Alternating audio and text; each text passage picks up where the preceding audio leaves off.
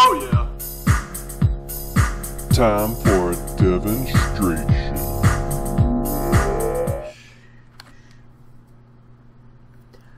Hey everybody, welcome back. Today I would like to talk about exercise. Well, kind of. I'm actually going to be talking about heart rate, which at the core of exercise, you got heart rate. So, um, people have been asking me to do some exercise videos, and personally, right now, um, I'm still working out, lifting weights, uh, doing cardio. I always do cardio, but I'm kind of taking it a little easy right now since my first competition this year, being on stage, doing a physique competition. Um, I've kind of had just some some joint problems, some shoulder impingement. I'm trying not to uh, hurt myself, but I'm just slowly rehabbing what I got, and at the same time, means I can still do cardio. Anyone can do cardio, and I highly recommend it. It's really one of the best things for the body. It's a great starting point, and it's virtually free. If you want, you can go out there and start pounding the pavement. You can go for a run whenever you want. That's free to anybody. So, at the core of cardiovascular exercise is heart rate. So, that's what I'd like to talk about today, at least starting out. So, heart rate, your heart beats before you're even born, and you know before you even celebrate a day on this earth, it's already beating. And the day it beats its last beat is your last day on the planet. Your heart is a wonderful thing, and it's at the center of it all. It's pumping blood that's carrying oxygen and nutrients to all the cells, and it's taking the waste away from cells, things like carbon dioxide that gets sent back to the lungs to be respired out. So, how many times does your heart beat in a minute? All you have to do is take your pulse, and you measure it over 60 seconds. That's your heart rate. If you take your pulse over 30 seconds, you can multiply it by 2. If you take it over 20 seconds, multiply by 3. If you take it over 15, multiply by 4.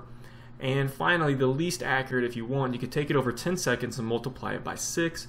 Basically, the shorter the amount of time you take it over and the higher the integer you multiply it by, the less accurate it becomes. But that's how you reach how many beats did your heart beat in six in 60 seconds in one minute. So across the board, men usually have lower resting heart rates than women. Kind of like men are naturally supposed to be uh, slimmer or have less body fat. It doesn't mean it holds true for all situations. It's just part of the differences between the sexes. But oddly enough, most people would say that the lower your heart rate, the healthier you are and the longer you would live on the planet. As in, you only have a set number of heartbeats, and obviously, the lower your heart rate, the longer it would take you to reach your final heartbeat. So, people with lower heart rates are healthier, but statistically, men live shorter lives than women. This has a number of factors involved, but given a natural lifespan without a missed day due to chronic illness, uh, biologically speaking, men should probably live longer than women. The fact is, the lower your heart rate, the healthier you are. And most of the time, this means you will live longer on this planet. The lower your heart rate, the more efficient your heart is at carrying out its mandatory task of sending oxygenated blood to all the cells of the body. This takes a combination of factors like blood pressure, stroke volume, respirations, all of which affect how much blood gets pumped out of the heart with the oxygen to the cells of the body. Caffeine and other drugs can also affect how, how fast your heart beats.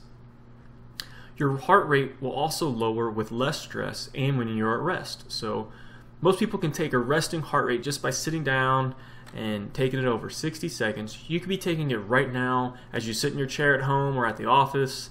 That would be a good resting heart rate. Your true resting heart rate, the lowest your heart rate will ever reach, and that is still self measurable, is right when you wake up in the morning because as you sleep, your body falls into its lowest metabolic rate possible. If you had a device that measured it during your sleep, you could see how low it truly goes. But for now, the lowest you'll ever measure is when you're lying, up, lying in bed upon waking. So, how does exercise relate to heart rate? As you exercise, your heart rate will increase to meet the energy demands of the body. If you start to force yourself into aerobic exercise, your body shifts its primary energy source to fat and starts using oxygen from the lungs to burn it and reach prolonged energy output. This is really good for the heart and a great way to burn fat. There's so many benefits to aerobic cardiovascular exercise that I'm not going to be able I won't be able to name them all here. But what is an optimal rate for exercise? What's an optimal heart rate? Most people have a target heart zone, a zone in which they should try to maintain their heart's number of beats to get the most benefit. Now, since we all decline metabolically as we age, most of the major stratifications in which uh, we measure that decline is by decade. For instance, if you hop on a cardio machine, It'll have the target heart rate zones by age like 20, 30, 40, 50, and so on. It doesn't mean that if you're over the age of 30 that your heart is never going to be as healthy as a 20 something year old. This is just a brief overview or guideline. And these guidelines, they're based on an average maximum heart rate for that group. Your maximum heart rate, the maximum number of beats you can attain in a minute, is unique to you and modifiable by you. The more you do cardio and the healthier your diet, the higher your maximum heart rate may become, and in turn, the lower your resting heart rate may be. You're training your heart by forcing it into an area outside its comfort zone, and this makes it stronger and ultimately leads to weight loss and increased longevity. Most cardio machines and fitness organizations recommend training between 60 and 80% of your maximum heart rate for a duration of time, usually about 15 minutes for maximum benefit.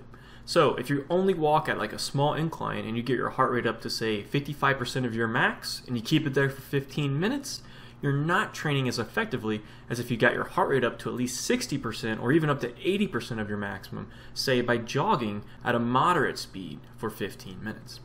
How you get your heart rate up is up to you, but you have to maintain that increase in heart rate for a minimum of 15 minutes to get the benefit. I personally train at a high level and I prefer uh, you know, sometimes 20, even up to 30 minutes of training. I also love cardio, and I have a resting heart rate of a Galapagos turtle, so I plan on living on planet Earth for about 120 years. A quick overview of some generalities of heart rate. The younger you are, the higher you can get your heart rate. Men have lower resting heart rate than women. The lower your resting heart rate, the healthier you are. The higher you get your heart rate in exercise, the better and training between 60 and 80% of maximum heart rate for 15 minutes is adequate for weight loss and cardiovascular benefit.